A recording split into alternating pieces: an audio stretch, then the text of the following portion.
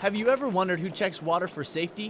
What about the air you breathe to make sure you aren't being overexposed to the wrong chemicals? As bioenvironmental engineering technicians, we provide occupational health risk assessments to the shops and to the people around the base. Using a collection of assorted tools, technicians like Staff Sergeant Hurlbert can test environments for overexposures and other hazards.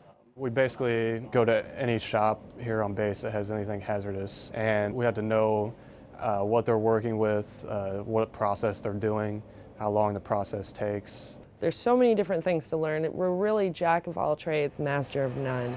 While ensuring areas around base are safe for airmen and civilians alike, bioenvironmental engineer technicians get the chance to experience other airmen's jobs. The best part of my job would be working with different people and getting to know so many different shops on base and playing with a lot of fun equipment. Applying what they've learned in their military career, whether short or for life, will help them now and in the future.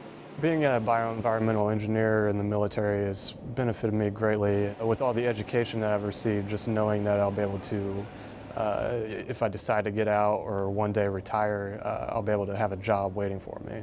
Bioenvironmental engineer technicians help show that hard work and dedication to the mission benefit everyone they keep safe and help secure a future for themselves.